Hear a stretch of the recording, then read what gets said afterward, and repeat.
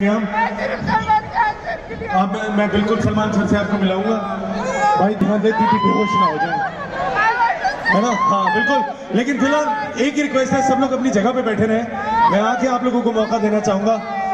लेकिन एक बात बताइए जब यहाँ पे होंगे ओए होए होए होए सोनाक्षी सिन्हा गुरु रंधावा